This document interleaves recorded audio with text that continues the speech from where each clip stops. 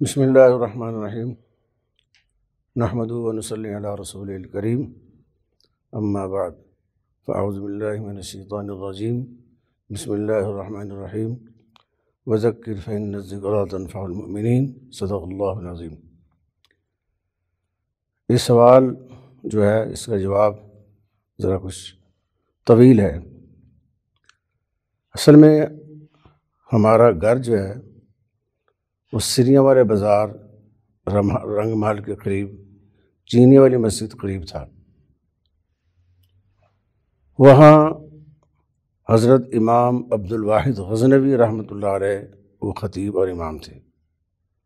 ہمارے اہل حدیثوں میں تین خاندان ہیں، غزنوی، روپڑی اور لکھوی۔ تو غزنوی خاندان کی ابتدا جو ہے نا، وہ حضرت امام عبداللہ غزنوی سے ہوئی رحمۃ اللہ علیہ۔ اور ان کو غزنی سے اس لیے نکالا گیا تھا کہ یہ رفع الدین کرتے تھے۔ پھر یہ امرتسر تشریف لے آئے، وہاں مدرسہ بنایا۔ تو امام عبداللہ غزنی سے یہ غزنوی خاندان جو ہے شروع ہوا ہے۔ اور انہوں نے حضرت امام نذیر حسین صاحب محدث دلوی رحمۃ اللہ علیہ سے جا کر حدیث پڑھی ہے۔ تو امام میاں نذیر حسین صاحب محدث دلوی فرماتے ہیں کہ عبداللہ حدیث مجھ سے پڑھ گیا ہے اور نماز پڑھانی مجھے سکھا گیا ہے۔ نماز پڑھنی مجھے سکھا گیا ہے۔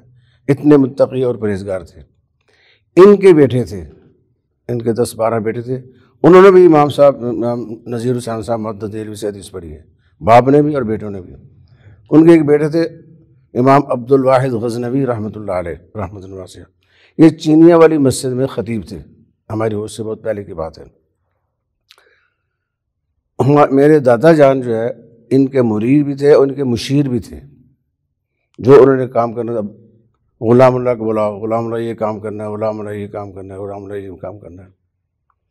تو وہاں بڑے بڑے علماء ان کے پاس آیا کرتے تھے۔